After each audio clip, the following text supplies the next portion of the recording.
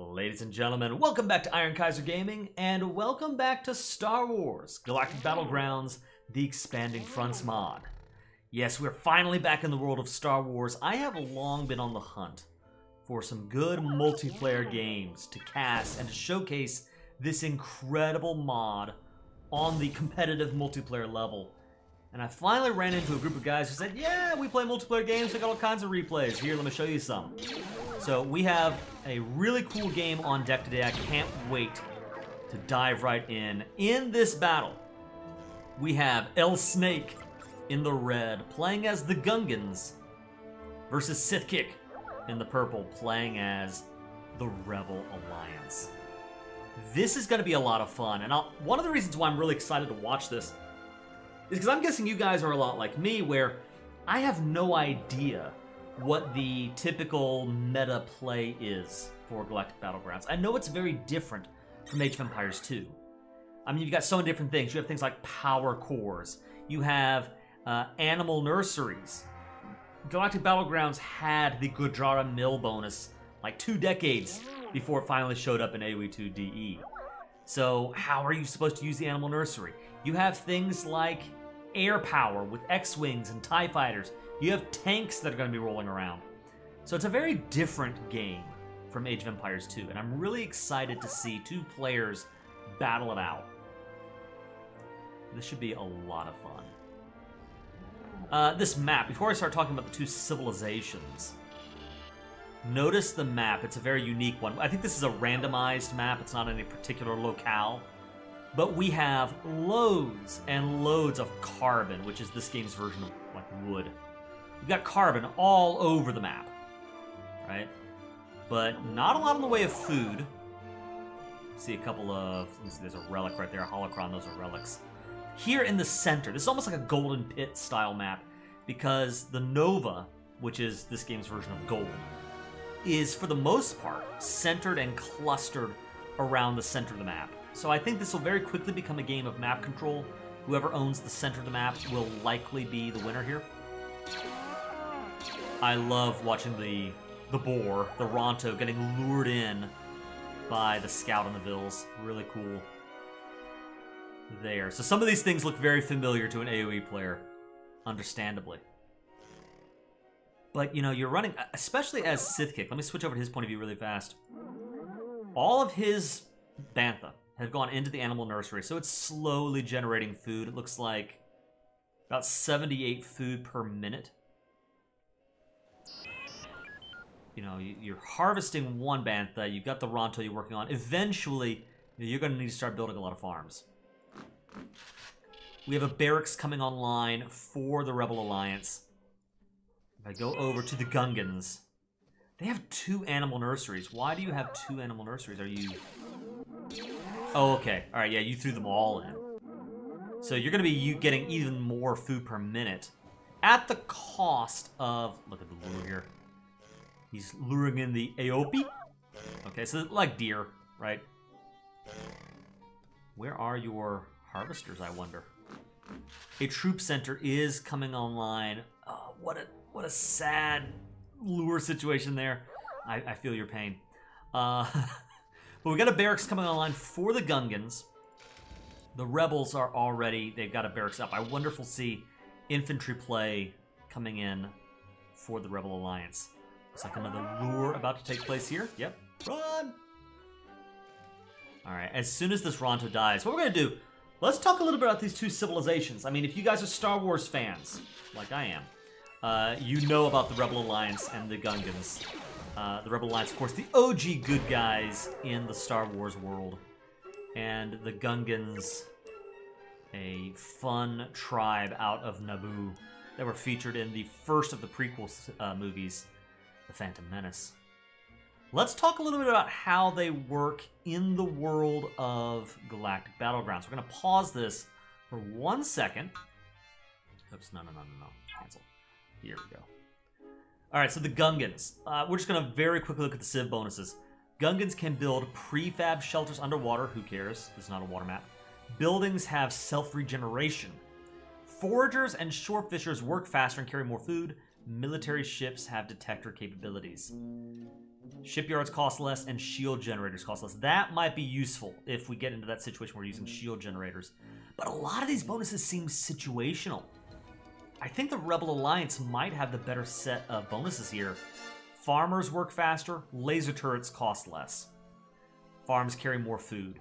So on a map like this, where we're going to see a lot of farms, I think the Rebels might have, not to mention the fortresses getting additional range and line of sight, I think the Rebels might have a really good set of bonuses here. I'm going to go out on a limb. Again, knowing very little about how this game plays, right? I could be missing something like the Gungans could have a wider tech tree, possibly. Something like that. Um, I think that would make sense. But just based on the civilization bonuses, I think the Rebels have a much more useful set of bonuses. Notice the Mounted Trooper. Okay, so we have the Mounted Troopers. Think of them kind of like Scout Cav. Uh, they're not as good as the regular infantry, but they're obviously faster and they have a lot of HP. Sith, uh, no, not Sith. Uh, Sith Kick, yeah. Sith Kick is the first one to level 2. Or am I mistaken? No, they're both at level 2. Yeah. No, no, no. Alright, sorry, I got it backwards. Okay. So, Snake is in level 2. Sith Kick is on his way to level 2. He is trying to find some damage here. But I think he's getting scared off by by the troopers. Who again, you'll notice they have less HP than the mounted troopers do. 125 to only 35. But more damage and I think more range too, if I'm not mistaken. Yeah, I think these guys have like melee range. And we're seeing the Gungans move out. So uh, an attack on its way to the Rebel base. And the Gungans do have a tech advantage here.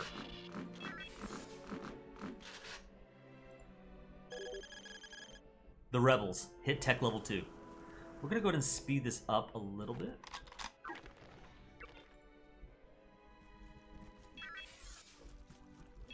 Because I think we can watch the game at double speed without losing anything. Scout on its way, scouting out a good part of the map. Here we go, battle versus battle. Now, do be aware, one of the things that's so cool about Galactic Battlegrounds is how all of the civilizations look very unique, right? But these guys are functionally identical. Trooper versus trooper, same HP levels, same stats. Unless there are some unique techs available to each civ, out of the gate they are identical. It's just a matter of aesthetics. So, the Gungans hit first, but I think they're outnumbered here by the Rebel troopers, and they don't really do a lot of damage yet to these buildings. Notice, uh, just like in AoE 2, elevation matters, and the Gungans were able to get some serious damage in with elevation advantage. The Rebels had to try to move up on the hill to nullify that, but plenty of them died before they could get there, and actually, I think that's a fight that the Gungans win, especially because we have a second wave harassing Vils on the far side of Shift uh, of Sith Kick's base. Scout goes down. The numbers are with the rebels here. The Gungans fall.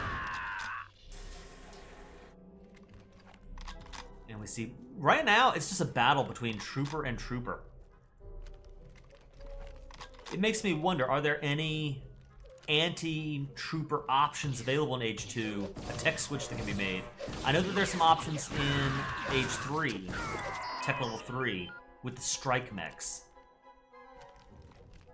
And uh, there probably are some air options as well. There's the power core. Uh, units inside the power core, buildings inside the power core, uh, train faster, the buildings in the center build faster. So it's a really cool thing to have power cores up and running. The mounted troopers are still up and running. What I would love to see, get these troopers in the middle of the chaos, start a fight somewhere else, and then just slip these mounted troopers into the back of the Gungan base. Yeah, the rebels fall. Right now, this is a game of tug of war. Oh, these troopers will not last long. No, they go down.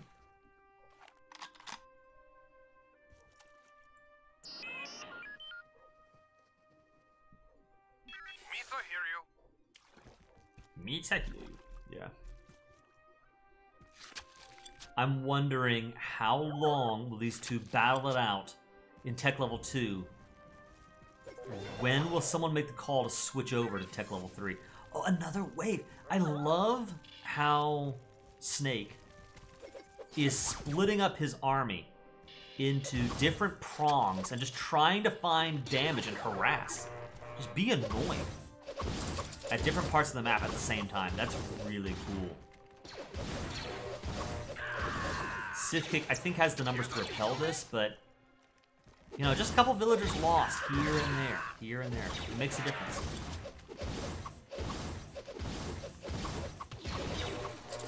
And, and notice how, okay, he's losing a couple of guys to the town center. This, this wing is going to get blown up. But these farms, and remember just how important farms are going to be on this map. You don't have much of a fishing economy or a hunt economy. You know, you, have got to get on those farms. They've all been blown up. That's an awesome coup for Snake. He currently has 52 pop. The Sith Kick's 57, so Sith Kick has a pop lead right now. I, unfortunately, I'll tell you what, going back to the OG Galactic Battlegrounds or the OG Age of Empires 2 uh, really makes you appreciate a lot of the quality of life features that we take for granted nowadays in the world of DE. One of those being I can't tell at a glance the villager counts. Oh, this is a fight that the rebels win.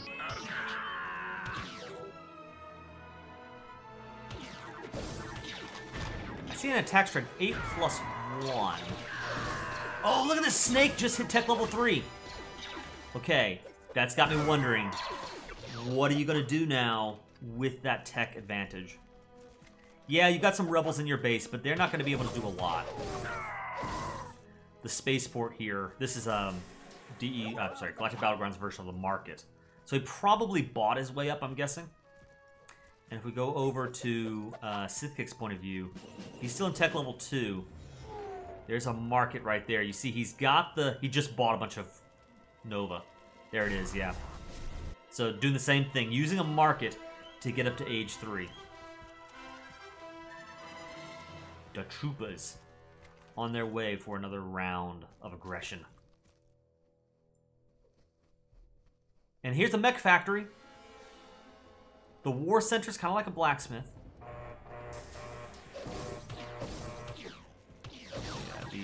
As uh, I said, the Rebel should win that just from the elevation, nothing else.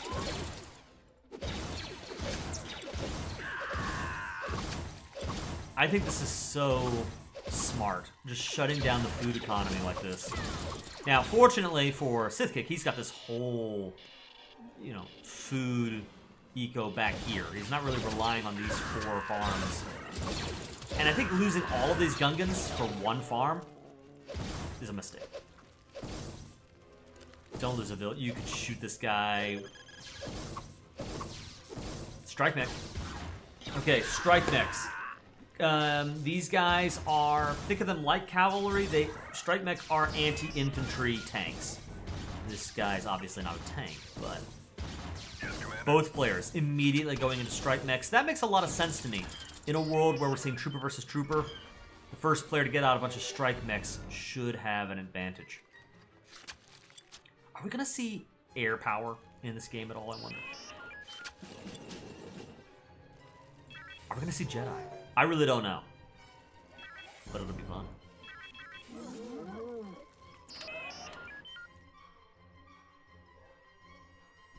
More strike mechs. You know, if El Snake ever claims the center of the map, the Gungans do fish faster. So I, that could be a little, a cute little bonus there right now, the scoreboard is almost neck and neck. There's a small advantage for Sith Kick, and I think I agree with the scoreboard. I think his position is slightly better. Look at the use of the strike mech going back and forth to, you know, ballistics has not been researched for the Gungans, so uh, he's getting a lot of a lot of value just in moving that one strike mech around. But they are getting overwhelmed. There are more units on the field for the Gungans. At least that's what it looks like to me. You know, if enough strike mechs come out, we might see a switch toward, like, uh, I don't know what they're called, main battle tanks, right? To deal with these strike mechs. Anti-mech mechs. Mech we have an air base for the Gungans. oh yeah, two mech factories and a mech base. I'm just checking to see, do we see a second command center from either player indicating strong eco play? So far, not yet.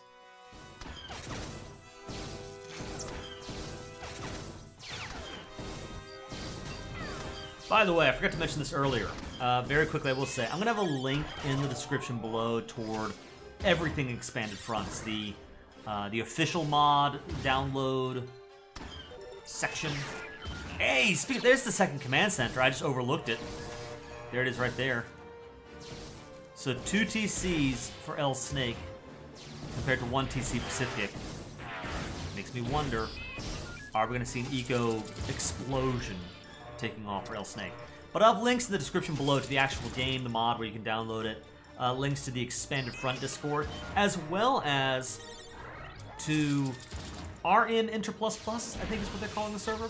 It's the, the, the multiplayer server where these guys get together and they play fairly frequently some Star Wars expanded front. A bomber. We are seeing air power, and this is so exciting to me. You know, sometimes you, you download mods or you play games where there are really cool options, but in the meta multiplayer side of things, you just don't actually ever really use them. It's not feasible. It's so cool to see in a match like this that yes, we actually do get to see air power, tank power, infantry play, all happening at once. Uh, if I am not mistaken, I'm, I'm, just double checking here, but Sith Kick is still on the 1TC. And the scoreboard has just about evened out. That is very promising for El Snake.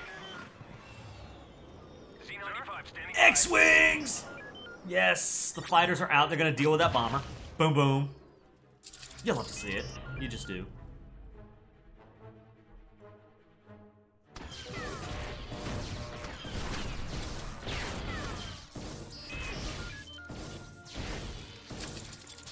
Mech Destroyer. I don't think I need to tell you what those do. These bad boys will shred through the strike mechs.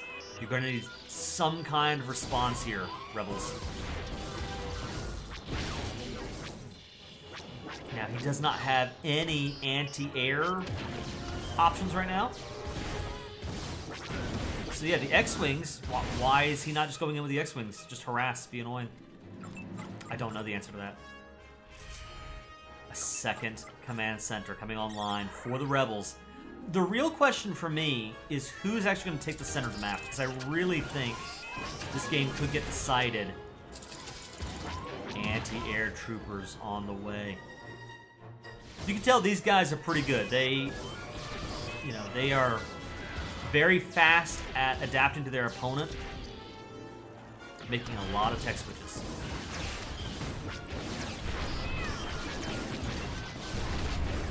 Oh, the anti-air just shredding.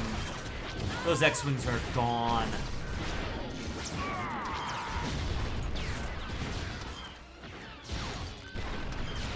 I see grenade troopers. They will definitely do well against the anti-trooper. I don't, I'm, I'm guessing they're probably better against the mech destroyers than the mech destroyers are against them. A heavy weapons factory coming online right on the front line. Snake feels very confident He's got this thing in the bag. He may be wrong if this fortress comes up.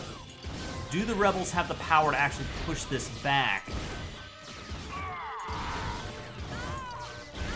You know, I do, if I were in the rebel shoes, I do wish that I had a power core nearby. to Build this thing faster. A lot of villagers, the R2 units, are falling here. Wow. Oh my goodness, the cheaper shield generator coming online for the Gungans, and now A forward fortress getting dropped on Sithkick's head. And guys, I think we've got a thousand point lead for Snake.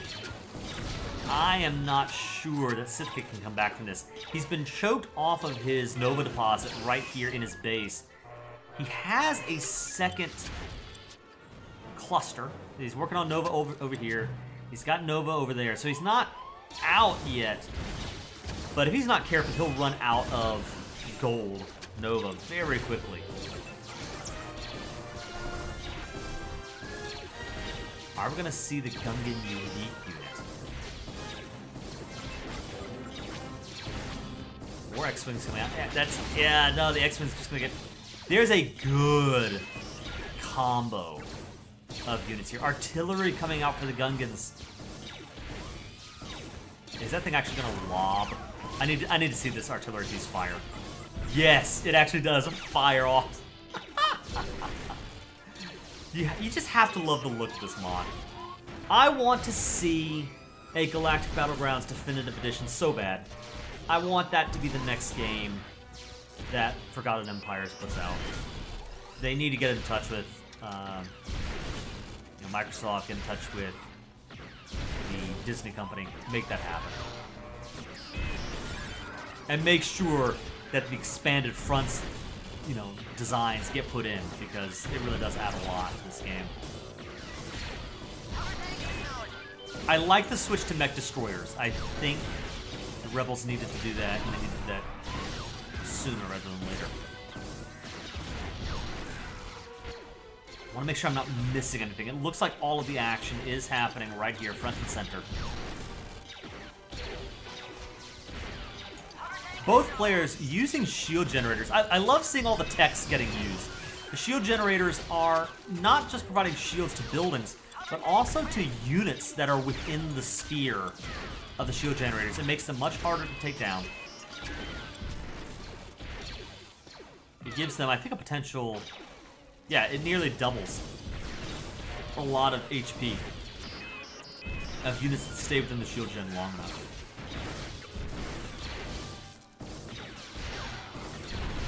I think... I'm, I'm assuming that the Gungans are winning this, although the scoreboard is actually swinging back in the Rebels' favor. Make sure I'm not missing anything. There are no secret raids. No, this, this is the main battle right here. If Sithkick somehow turns this thing around, that will be incredible. Grenade Troopers putting in good work. The combo of the Grenade Troopers and the Mech Destroyers, it is effective and the Gungans are losing units. Dude, dude, is it... Notice, by the way, notice how the Banthas have been eliminated from their nurseries, so you no longer have that trickle of food. And look at the Rebel Eco right now.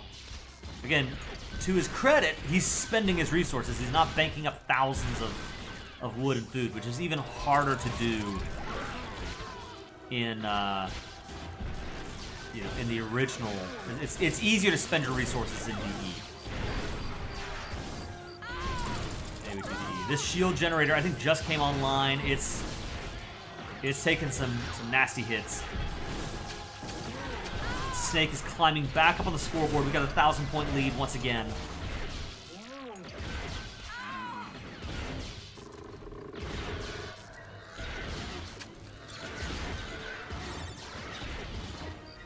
Oh my goodness.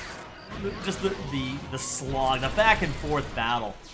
This is impressive because I've seen both players go back and forth, but it doesn't feel like a mindless slog. It feels like different tactics, different unit compositions being thrown against each other.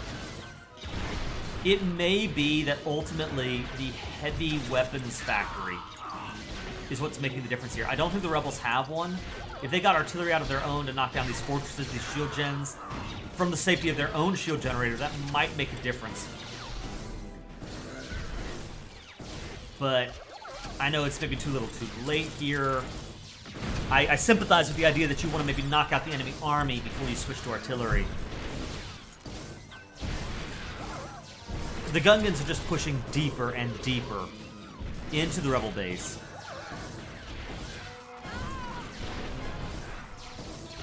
And it is looking to me... Again, look at Snake's resources. I, I, I, this is so impressive to me that he is continuing to produce units. He is not getting complacent.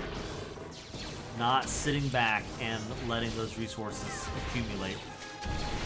That's how you know these are good players. This is some high-level Galactic Battlegrounds. I'm very happy with this replay.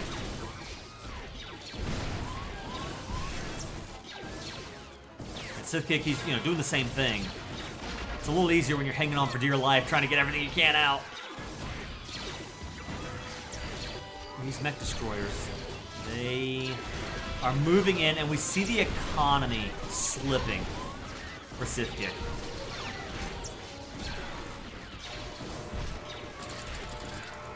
Notice about a third, no, fourth command center. Both players. I'm not sure. So we have 169 pop for El Snake versus 61 for Sith Kick. If that doesn't tell you the story, I don't know what will. Uh, yeah, the pop numbers are out of control here. And Sith Kick calls the GG. El Snake and the Gungans take the win on this match. Guys, I thought that was awesome. I loved watching this. And I want to cast more. I want to put more Star Wars Galactic Battlegrounds on the channel. Do you want to see more Star Wars Galactic Battlegrounds? If you do, I need to see it in the views, the likes, the comments. Let me know. If you enjoyed this, please consider liking the video and subscribing to the channel. Um, let me know if you want to see more Galactic Battlegrounds or what else you want to see from the channel. More Age of Mythology, AoE2. Let me know in the comments below. For now, guys, this is yours truly, the Iron Kaiser, signing off. Have a great one out there.